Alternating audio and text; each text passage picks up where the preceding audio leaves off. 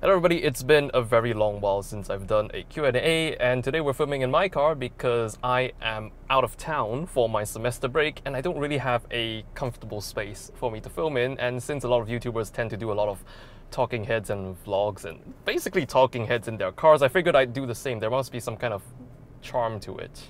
Alright, so I'll begin with the questions on Facebook because earlier on Friday I asked you guys to send in your questions and we only have one question on Facebook, the rest came in on Instagram. So Owen asks, Hi my friend, I got a Godox V860 flash and I wonder if syncing the speed with the camera, let's say 1600 really gives me 1600 speed or just 250. Now by speed I suppose you're meaning shutter speed, so the exposure time. And when it comes to flashes and their exposure times, it does work a little trickier because uh, there's a limited range of shutter speeds that work with flashes. So in this case, if say 1600, I'm not sure if you can actually dial in the exposure time on the flashes. Uh, from what I know for speed lights, such as the Godox you're talking about, you can only set a output fraction on the speed light itself. So in this case, if you have high-speed sync enabled, you would be able to take a photo with the flash firing with a 1600th of a second exposure. If you do not have high-speed synchronization enabled, then you're limited to the maximum flash sync speed of your camera. Now, different cameras have different maximum flash sync speeds. On the 80D, it's 1 250th of a second. On the 5D, it's 1 200th of a second. On the 6D, it's only uh, 180th of a second. Now, not to say you can't take a picture at that shutter speed, but if you do not have high-speed sync enabled and you were to take a picture at that speed, you will get severe banding. So to answer your question, if you do have high-speed sync enabled and active, you would be able to take a perfectly fine picture at 1600th of a second exposure speeds with the flash firing. Okay, that's it for Facebook. Let's move on to Instagram. What's a good start into color grading pictures slash video for beginners? Hmm, the exposure just changed. Now that's a very interesting question because when you mention color grading, most of the time the industry always uses that term for video and motion picture only. You always see it in films. But for some reason, nobody ever uses that term for stills. I have no idea why. I would love to know. Maybe you can use it for stills, but for some reason, nobody uses it. And what looks good for stills and motion picture as defined by the industry is, is also pretty different. And I can see why, because motion picture, you have to apply a grade that looks good across a whole lot of frames. And when you take a still, you only perfect that one still. Anyway, to go back to what you're saying, color grading is the process where you actually introduce a look and a personalized touch to the image. So that always comes after color correction. Color correction is when you balance out the white balance, you make sure the exposure is correct. So to answer your question, so a good start would be to color correct, but you can't really say that's a good start because that's, in a way, a prerequisite, with the exception that you're trying to get a look you want in camera. So, for example, if you're trying to get a very warm look, so you shoot it with a very warm white balance, it doesn't make sense to correct that back to neutrals, back in post, and then warming it back up again. So that's the exception. In terms of the start for the actual creative process of color grading, I usually start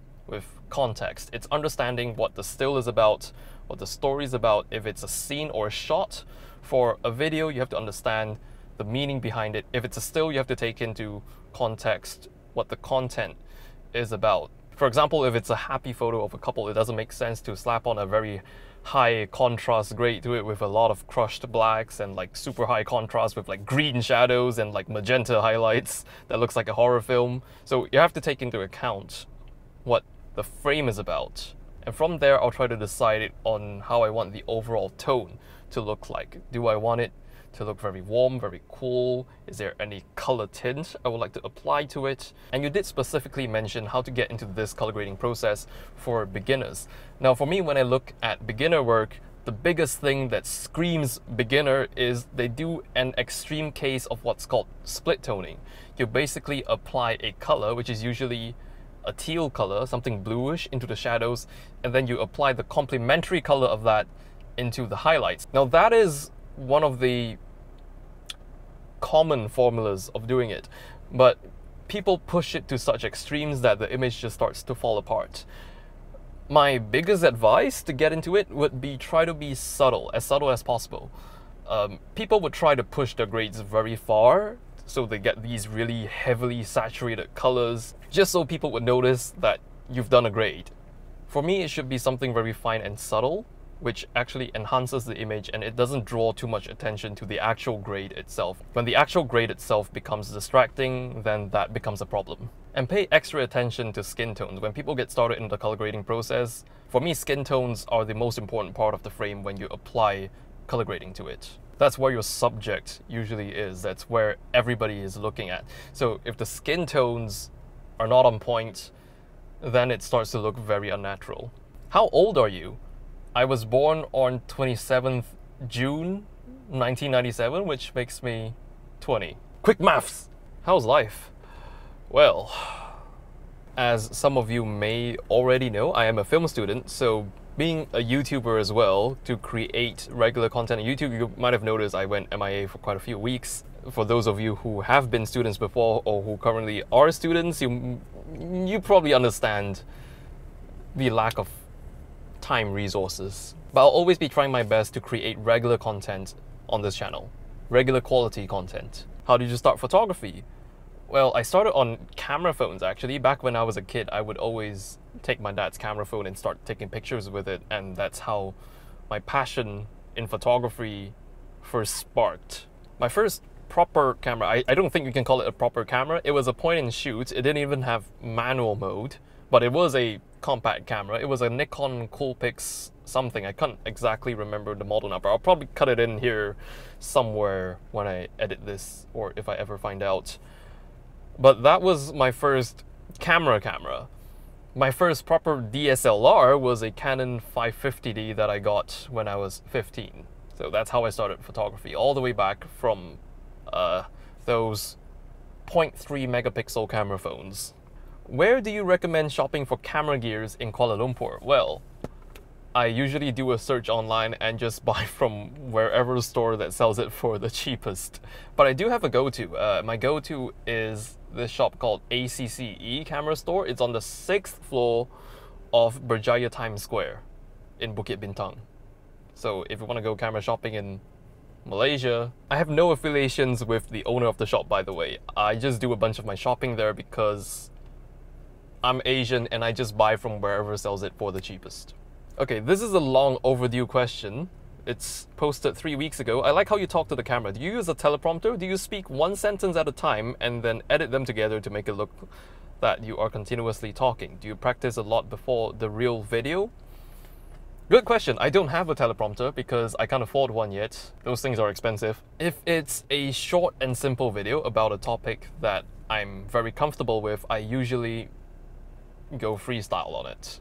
Well, there is a lot of cutting involved, as you can notice from the various jump cuts. So yes, I do say a few sentences at a time until I screw up, and then I'll just cut out the parts where I screwed up and either start over again. Sometimes I have to repeat a sentence five or six times because speech is hard. If it's a longer video with a lot of key points, then I would usually type it out in a Word document and then look at my notes on a laptop. I'll just keep glancing away in between cuts. That's especially for the case where it's a video about a particular product and there's a lot to memorize, such as product specifications, then I'll usually type those out and refer to my printed notes or on a laptop.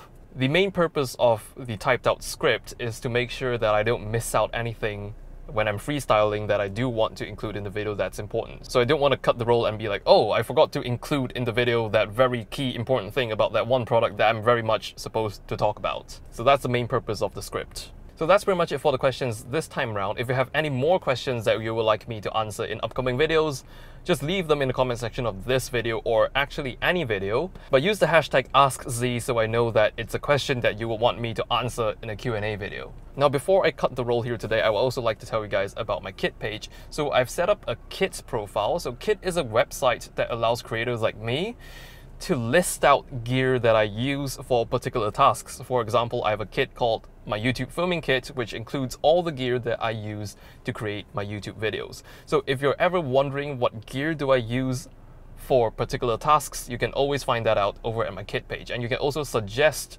kits for me to create that you would like to know. I hope that made sense. So that's pretty much it for today, everybody. Thank you so much for watching, and I will see you in the next video.